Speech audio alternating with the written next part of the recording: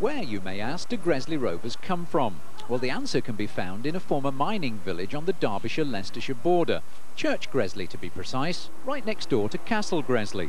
It has a population of around 5,000, but in football terms it suffers something of an identity problem. We do, really. Where's, where's Gresley?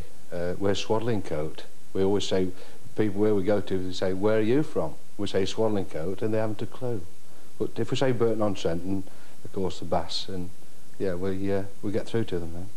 The message has certainly got through to the locals. Everyone, it seems, is a Rovers fan. 300 of them turned up to watch a training session this week. 2,000 of them, with their paper hats, are making the 50-mile trek north to Crewe. All the supporters, uh, they're fantastic here, you know, fanatical, to be honest. You, you go down places like to Sittingbourne, you know, which is 240 miles away, and they're there, turning up, wait, waiting for you, you know, it's brilliant.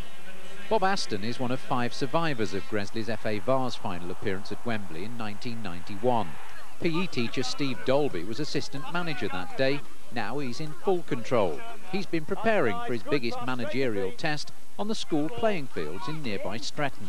The ambition at the start of the season was to get through to the first round and to play a league club, and we've managed that. So the players are going to be really highly motivated for the game, and uh, I can't see any problem in motivating them. My job's done already, getting them there, and the day's just for the players now.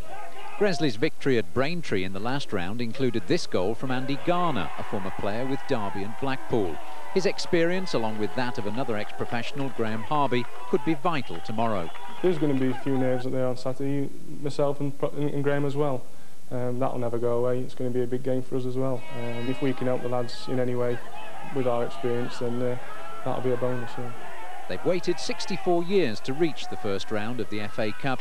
By tomorrow night, Church Gresley might just have found its way onto the football map.